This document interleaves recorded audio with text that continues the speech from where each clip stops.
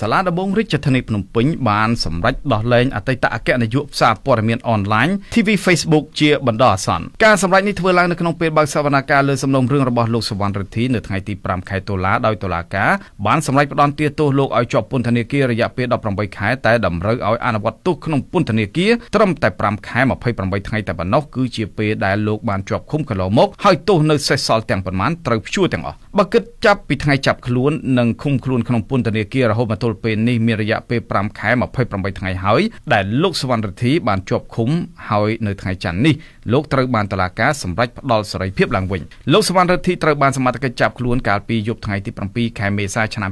2020នៅរាជធានីភ្នំពេញបន្ទាប់ពីលោកបានផ្សព្វផ្សាយនៅសម្រងសម្ដីផ្ទាល់របស់លោកនាយករដ្ឋមន្ត្រីហ៊ុនសែនដែលបានប្រកាសប្រាប់ឲ្យពលរដ្ឋរត់ម៉ូតូឌុបដែលខ្សែធនឲ្យលក់ម៉ូតូរបស់ខ្លួនសម្រាប់ចាយវាយក្នុងពេលវិបត្តិ COVID-19 ព្រោះថារដ្ឋាភិបាលគ្មានលទ្ធភាពជួយពួកគេនោះឡើយអតីតអ្នកសារព័ត៌មានអនឡាញរូបនេះត្រូវបានតុលាការចោទប្រកាន់ពីបទញុះញង់ឲ្យមានចលាចលក្នុងសង្គមលោកនាយករដ្ឋមន្ត្រីហ៊ុនសែនធ្លាប់អះអាងថាលោកជាអ្នកបញ្ជាឲ្យចាប់ខ្លួនលោកសវណ្ណរិទ្ធីយកទៅដាក់គុកព្រោះយកខ្លឹមសារដែលលោកបាននិយាយតែមួយជ្រុងទៅផ្សព្វផ្សាយ ខុសពីការពិតធ្វើឲ្យមានការយល់ច្រឡំនិងប៉ះពាល់ដល់មុខមាត់របស់រដ្ឋាភិបាលរបស់លោកក្រោយពេលលោកសវណ្ណរិទ្ធីត្រូវបានចាប់ខ្លួននិងឃុំខ្លួនក្រសួងព័ត៌មានវិញក៏បានចេញសេចក្តីប្រកាសសម្រេចលុបចោលអាជ្ញាប័ណ្ណសារព័ត៌មាន TV Facebook របស់លោកតែម្ដងព្រោះក្រសួងថាលោកសវណ្ណរិទ្ធីបានប្រព្រឹត្តខុសវិជ្ជាជីវៈដែលមិនអាចអត់ឱនឲ្យបាន